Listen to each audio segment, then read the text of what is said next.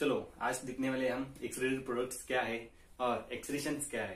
तो इस वीडियो में हम इन डिटेल में जानेंगे कि एक्सरेटरी प्रोडक्ट्स कौन से कौन से है और वो कैसे तैयार होते हैं। तो जो जनरली एक्सरेशन जो है, वो क्या होता है, हमने देखा, पिछली कुछ वीडियो में देखा था कि जो ब्लड है ब्लड और लिम्फ लिम्फ के और ब्लड के थ्रू जो हमारे पूरे बॉडी में जो एक्सरेटरी प्रोडक्ट जो है, वो कलेक्ट होके कहाँ पे आते हैं और उसका एक्सरेशन कैसे होता है इन डिटेल में हम इस वीडियो सीरीज़ में देखने वाले तो इस चैप्टर के शुरुआत में हम क्या देखेंगे कि जनरल इंट्रोडक्शन जो है, कि एक्सरेटरी प्रोडक्ट्स कैसे होते हैं, कौन से कौन से टाइप्स के होते हैं, और वो कहाँ से तैयार होते हैं। तो देखो, हमारा जो मेटाबॉलिज्म है मेटाबॉलिज्म मीन्स क्या, कि जब हम जो कुछ भी फ़ूड डाइट करते हैं, खाते हैं तो उसके बाद उसका क्या होता है, वो उसको हम कहते हैं मेटाबॉलिज्म तो आफ्टर मेटाबॉलिज्म जो फाइनल प्रोडक्ट जो है, जो आते हैं तो वो क्या रहते हैं? हमारे एक्सटरी प्रोडक्ट रहते हैं। तो देखो, यहाँ पे हमारे कंजम्पशन में क्या क्या आ सकता है? डाइट में क्या क्या आ सकता है? तो उसमें फैट आ सकता है कार्बोहाइड्रेट आ सकता है प्रोटीन्स भी आ सकता है नाइट्रोजनस बेसिस तो नाइट्रोजनस बेसिस भी आ सकते हैं। कैसे आ सकते हैं? क्योंकि हम, जैसे कि हम मान लो, हम क्या करते हैं? स्पिनच ल्यूज खाते हैं, बराबर? तो स्पिनच ल्यूज में क्या रहते हैं? अबंडेंट सेल्स रहते हैं। तो सेल्स में क्या रहेंगे? न्यूक्लियस भी रहेंगे। न्यूक्लियस में न्यूक्लियस के अंदर जेनेटिक मटेरियल रहेगा। तो जेनेटिक मटेरियल में ऑब्वियसली नाइट्रोजनस बेसिस आते हैं। तो विटामिन और मिनरल्स वो तो रहते ही रहते हैं। तो कुछ मिनरल्स और विटामिन जो है मिनरल्स तो वाटर सोल्यूबल होते ही है, मगर कुछ विटामिन वाटर सोल्यूबल होते हैं, कुछ नहीं होते। तो जो विटामिन वाटर सोल्यूबल नहीं होते, वो विटामिन बॉडी में स्टोर किए जाते हैं। क्या किए जाते हैं? स्टोर किए जाते हैं। और जो विटामिन वाटर सोल्यूबल है, वो एक्सक्रीट किए जाते हैं।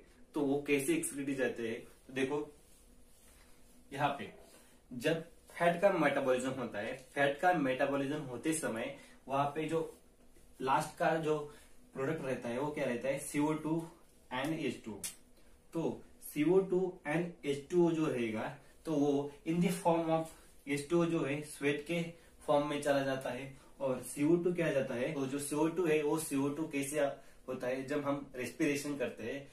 ओके रेस्पिरेशन में हम जो एक्सेल आउट करते हैं, जो उसको हम वहाँ से क्या करते हैं? सीओ टू का एक्सेशन करते हैं। तो यहाँ पे कार्बोहाइड्रेट का भी मेटाबॉलिज्म में क्या होता है? ग्लूकोज से क्या होता है? ग्लूकोज से जो ग्लाइकोलिसिस होता है ग्लाइकोलिसिस से सीटीए होता है। जो पूरा मेटाबॉलिज्म का जो लास्ट प्रोडक्ट है एंड प्रोडक्ट जो है, उसमें क्या आता है?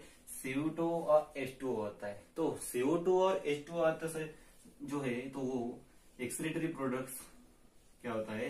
एक्सरेशन हो जाता है। ये जो लास्ट प्रोडक्ट जो है, ये एक्सरेटरी प्रोडक्ट्स जो है तो CO2 हम क्या करते हैं? रेस्पिरेशन थ्रू CO2 का क्या करते हैं?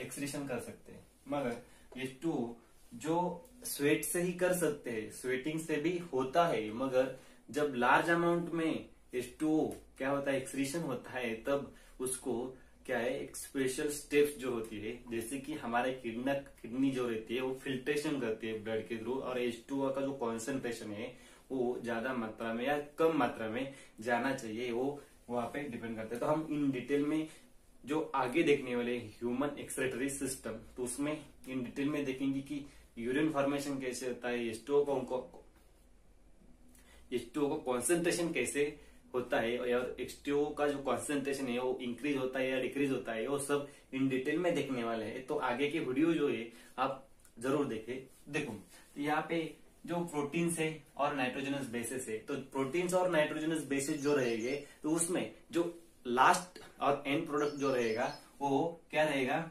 अमाइन कंटेनिंग रहेगा और नाइट्रोजन कंटेनिंग रहेगा। तो जो मेनली जो एंड प्रोडक्ट जो है नाइट्रोजनस बेसिस और नाइट्रोजनस प्रोडक्ट जो है ओके तो वो किसमें रहेंगे? प्रोटीन में और नाइट्रोजनस बेसिस में रहेंगे।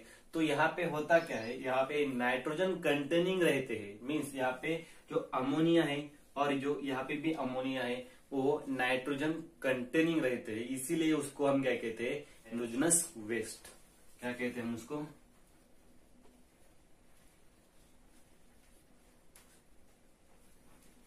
नाइट्रोजनस वेस्ट कहते हैं तो ये जो नाइट्रोजनस वेस्ट है तो ये नाइट्रोजनस वेस्ट हम कैसे एक्सीक्रेट कर सकते हैं? तो उसके डिपेंड करता है कि उसका एक्सक्रेटरी सिस्टम कैसे है। तो देखो, जो नाइट्रोजनस बेस है और नाइट्रोजनस वेस्ट प्रोडक्ट जो है, वो तीन टाइप से क्या होता है? एक्सक्रीट होता है। एक तो है अमोनिया ओके, पहला वाला। दूसरा वाला जो है, यूरिया। तीसरा वाला जो है, यूरिक एसिड। तो ये क्या होता है? एनिमल टू एनिमल वेरी होता है। जब वर्टिब्रेट में और इनवर्टिब्रेट में जब हम देखते हैं तो इनवर्टिब्रेट में क्या होता है? इनवर्टिब्रेट में जो एक्सक्रीशन होता है, वो यूरिक एसिड का होता है। मगर यहाँ पे जो सिस्टम यूज़ होती है, वो कॉम्प्लेक्स नहीं रहती मगर वर्टिब्रेट में क्या होता है? वर्टिब्रेट में कॉम्प्लेक्स जो फिल्ट्रेशन सिस्टम है एक्सक्रेटरी सिस्टम है, वो होती है मीन्स किडनी होती है। देखो, यहाँ पे यहाँ पे नाइट्रोजनस वेस्ट क्या क्या आते हैं? तो नाइट्रोजनस वेस्ट थ्री टाइप्स के है। पहला वाला है अमोनिया दूसरा वाला है यूरिया तीसरा वाला है यूरिक एसिड तो इसमें होता क्या है देखो? इसमें जो अमोनिया एक्सरेट होता है तो अमोनिया एक्सरेट होते समय वहाँ पे लार्ज अमाउंट ऑफ़ वाटर की ज़रूरत होती है। क्योंकि जो अमोनिया रहता है वो अमोनिया क्या रहता है? वेरी टॉक्सिक और टॉक्सिक इन नेचर रहता है। इसके लिए ये बहुत ज़्यादा टॉक्सिक होता है और ये टॉक्सिक ज़्यादा रहता है, इसीलिए एक्सट्रिक्ट करना ज़रूरी होता है और एक्सट्रिक्ट करते समय इसको डिजोल्व करने के लिए बहुत ज़्यादा अमाउंट में वाटर चाहिए। तो वाटर कितना चाहिए इसको लगभग? जब हम one gram ammonia NH four ammonia को हम एक्सट्रिक्ट करना चाहते हैं तो उसको लगभग 500 hundred M L means half litre क्या लगेगा? वाटर लगेगा। तब ही तब ये क्या होता है? अमोनिया एक्सट्रिक्ट होता है। ओके तो अमोनिया जो जो जो जो एनिमल है, जो अमोनिया एक्सट्रिक्ट करते हैं तो उसको हम कहते हैं, उस एनिमल को हम क्या कहते हैं? अमोनोटेलिक ऑर्गेनिज्म उसको हम क्या कहते हैं? यहाँ पे लिख देता हूँ ये देखो।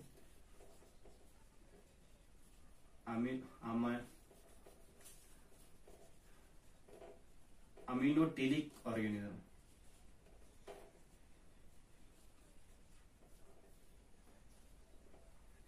ओके और जिसको मीन्स अमोनिया एक्सट्रिक्ट करते समय जो प्रोसेस होती है, हम उसको क्या कहते हैं? अमोनोटेरिज्म कहते हैं। उस प्रोसेस को हम क्या कहते हैं? अमोनोटेरिज्म अमीनो टेरिज्म तो समझ में आया कि अमोनिया कैसे एक्सक्रीट होता है? बराबर। तो अमोनिया जो एक्सक्रीट करते हैं तो वो ऑर्गेनिज्म जो रहते हैं, वो बोनी फिशेज जो क्या करते हैं, जो वाटर में, ज़्यादा वाटर में रहते हैं बोनी फिशेज रहते हैं, जो एक्वाटिक एम्फीबियंस रहते हैं एंड जो एक्वाटिक इंसेक्ट्स जो रहते हैं, वो क्या करते हैं मेनली अमोनिया एक्सक्रीट करते हैं। तो अमोनिया जब एक्सक्रीट करते हैं तो वो क्या करते हैं, उसमें किडनी का काम कुछ भी नहीं होता। उसमें किडनी का काम कुछ भी नहीं होता। वो गिल्स से क्या करते हैं? उसका एक्सक्रीजन करते हैं। वाटर अंदर लेते हैं और जो प्रोडक्ट जो है एक्सक्रेटरी प्रोडक्ट वो वहाँ से एक्सक्रेट करते हैं। तो ये हुआ अमोनिया के बारे में। उसके बाद आता है यूरिया तो यूरिया जो है, यो क्या है? अमोनिया का दूसरा वाला फॉर्म है। तो जब ये जो CO2 है ये CO2 और अमोनिया मिल के क्या होता है? यहाँ पे ऑर्निथाइन साइकिल में क्या होता है उसका? ऑर्निथाइन साइकिल में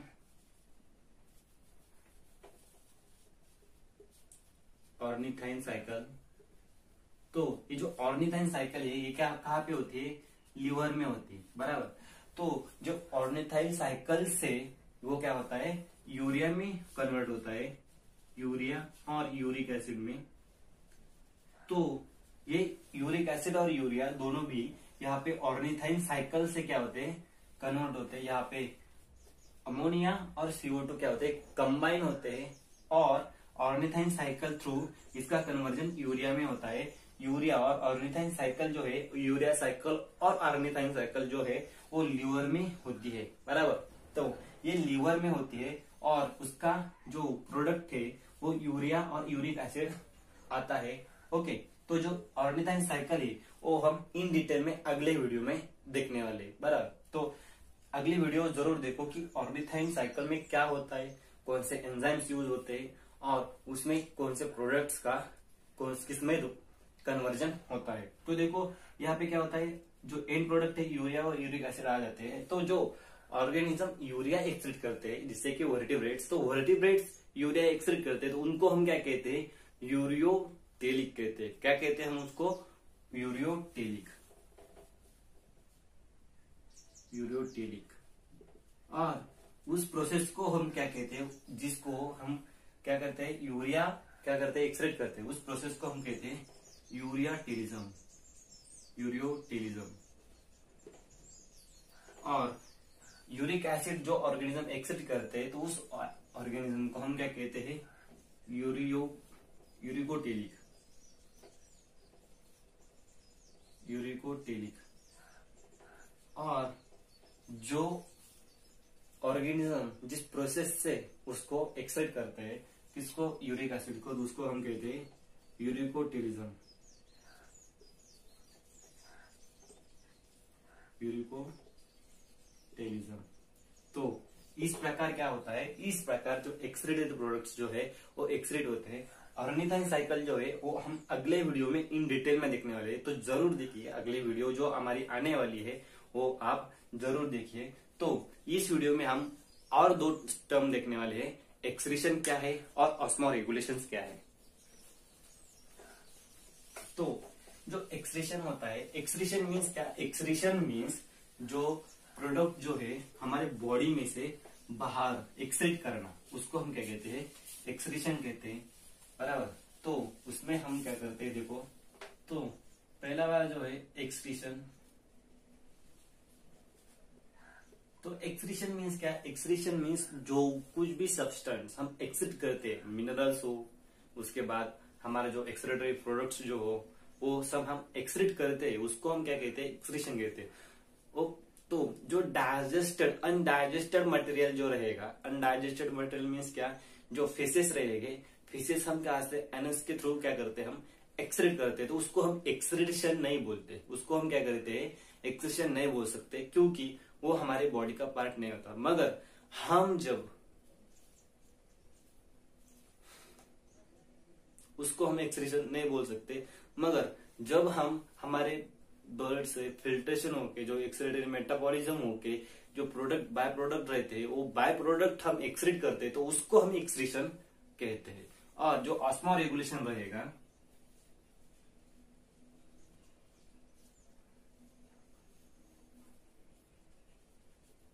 ऑस्मो रेगुलेशन जो रहेगा तो ऑस्मो रेगुलेशन मीन्स क्या?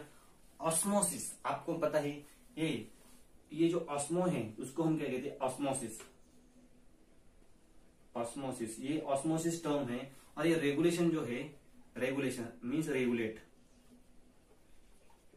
ओके जब ऑस्मोसिस रेगुलेट होता है मीन्स कैसे देखो? यहाँ पे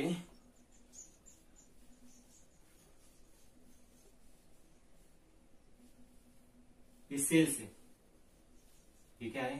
ये सेल्स है और इस इन्वायरमेंट में ये क्या है? वाटर है। वाटर और मिनरल्स है, बराबर। सोडियम और एनएसीएल मान लो यहाँ पे एनएसीएल है। ओके और वाटर है। यहाँ पे होता क्या है? यहाँ पे यहाँ पे सोडियम का कॉन्सेंट्रेशन रहेगा और सीएल का कॉन्सेंट्रेशन रहेगा। ओके और वाटर का कॉन्सेंट्रेशन तो यहाँ पे क्या होता है? यहाँ पे जो कॉन्सेंट्रेशन है सेल का तो कॉन्सेंट्रेशन वो मेंटेन किया जाता है। कुछ सीएल अंदर आ सकते हैं। ओके कुछ सोडियम बाहर भी आ सकते हैं। कुछ एस्टो बाहर आ सकते हैं, कुछ एस्टो अंदर भी आ सकते हैं। तो इसमें क्या होता है? क्या होता है? जो मटेरियल है, जो मटेरियल है, वो एक्सचेंज हो रहा है। एक्सचेंज हो रहा है ऑस्मोसिस हो रहा है, बराबर? ऑस्मोसिस होने के बाद उसको रेगुलेट किया जाता है, उसको मेंटेन किया जाता है।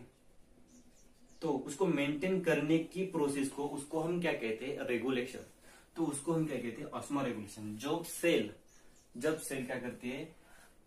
एक्सचेंज करके मटेरियल का वाटर का एनएसएल का, जो मिनरल्स हो गए उसका और ऑस्मो रेगुलेशन होता है। मीन्स ऑस्मोटिक बैलेंस होता है। यहाँ पे क्या होता है? ऑस्मोटिक बैलेंस होता है। ओके तो ऑस्मोटिक बैलेंस होने के बाद ये क्या होता है? रेगुलेट होता है और मेंटेन होता है। तो अगले वीडियो में हम देखने वाले ऑर्गेनाइजेशन साइकिल और उसके अगले वीडियो में हम देखेंगे ह्यूमन एक्सरेटरी सिस्टम आपको ये वीडियो अच्छी लगी हो तो आपके फ्रेंड्स के साथ शेयर करो और हमारे चैनल को सब्सक्राइब करो. Thank you